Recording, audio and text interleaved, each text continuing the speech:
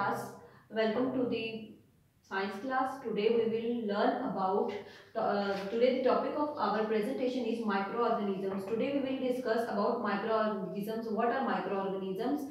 Uh, first of all, I am telling you about microorganisms. Microorganisms क्या होते हैं? Microorganisms are those organisms which are which are too small that we cannot see with our naked eye. We can use microscope to see microorganisms.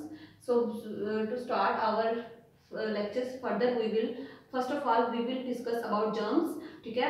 पहले हम लोग जो है न्यूडम्स करेंगे न्यूडम्स में हमारे पास जर्म्स आएँगे जर्म्स क्या होते हैं? Harmful microorganisms germs are very harmful microorganisms ठीक है? Which are separate everywhere in our surroundings next infection infection क्या होता है? Infection growth of parasitic organisms inside the body infection वो चीज़ होती है जो हमारे पैरासाइटिक ऑर्गेनिजम्स होते हैं वो हमारी ह्यूमन बॉडी के अंदर पेनिट्रेट कर रहे होते हैं और फिर उस, उससे हमें इन्फेक्शन काज करते हैं.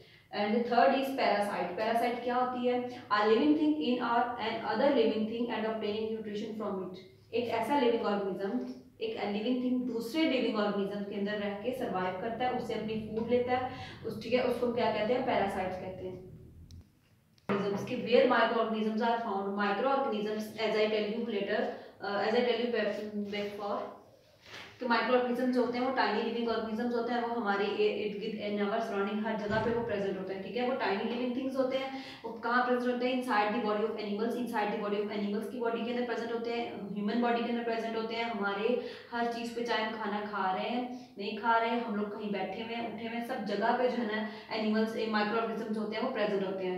अब आ जाती है इसकी different types of microorganisms there are different types of microorganisms but here we will discuss only about three types of microorganisms first is bacteria bacteria क्या होता है? Bacteria only single cell organisms bacteria only one cell ठीक है? They have different shapes as we draw there for you उसके बाद fungi fungi क्या होता है? फंजाई ऐसे ऑर्गेनिजम्स होते हैं जो कि डेड और डिकेइंग मैटर पे आते हैं। जिस तरह के ब्रेड पे जो फंगस लगती है, वो जो है, वो फंजाई की बहुत अच्छी एग्ज़ाम्पल है। उसके बाद आ जाता है वायरस वायरस क्या होता है? वायरस एक ऐसा इन्फेक्शन होता है जो कि ह्यूमन बॉडी के अंदर प्रेजेंट होता है, ठीक है?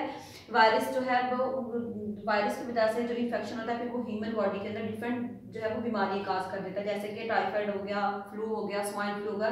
These are all the examples of virus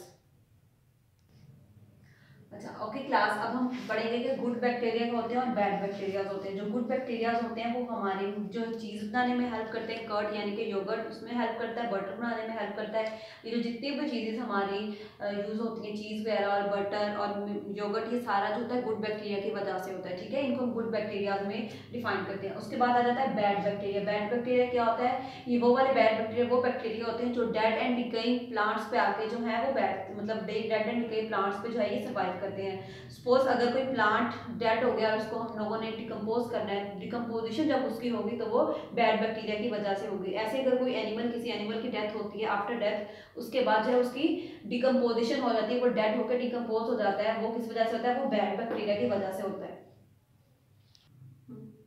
Okay class now we discuss about the uses of microorganisms के माइक्रो ऑर्गेनिजम्स के यूजेस क्या होते हैं? माइक्रो ऑर्गेनिजम्स अब बहुत एक वाइड ऐसी, एक ऐसा ये सब्जेक्ट बन गया है कि माइक्रो ऑर्गेनिजम्स की हम हर जगह पे जो है इसको यूज़ करें, इसको यूज़ हम लेबॉर्ट्रीज में करें लेबॉर्ट्रीज में टेस्ट करने के लिए, ठीक है? यूज़ करें माइक्रोऑर्गेनिजम्स को। मेडिकल फ़ील्ड में देखें तो वैक्सीन बनाने के लिए हम यूज़ करें। वैक्सीनेशन में जो है माइक्रो ऑर्गेनिजम्स यूज़ होते हैं, उसी ही, उससे हम जो है वो वैक्सीन तैयार करते हैं। उसके बाद एंटीबॉडीज जो कि हमारी बॉडीज में एंटीबॉडीज जब हम इंजेक्ट करते हैं, किसी भी बीमारी के खिलाफ उसने, के खिलाफ उसकी वैक्सीन तैयार करने के लिए जो हम चीज़ देते हैं, वो एंटीबॉडीज होती है, ठीक है? उसके बाद वाइटामिन वाइटामिन में भी माइक्रो ऑर्गेनिजम्स प्रेजेंट होते हैं, ठीक है? जो हमारी बॉडी में किसी भी लैक की वजह से हो जाता है। ठीक है दैट्स ऑल क्लास आज हमने माइक्रो ऑर्गेनिजम्स के बारे में सारा मतलब यूजेस पढ़े, उसका, उसके कौन कौन से माइक्रो ऑर्गेनिजम्स होते हैं कहाँ कहाँ प्रेजेंट होते हैं, ठीक है?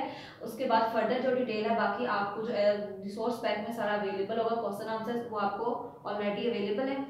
उससे देखें, कोई कन्फ्यूज़न हो आई होप क्लास के आज का लेसन आपको अच्छे से समझ आ गया होगा कि हमने माइक्रो ऑर्गेनिजम्स क्या होते हैं उसके यूजेस क्या होते हैं वो कहाँ कहाँ पे यूज़ होता है इसके गुड यूजेस क्या होते हैं बैड यूजेस क्या होते हैं. That's it thank you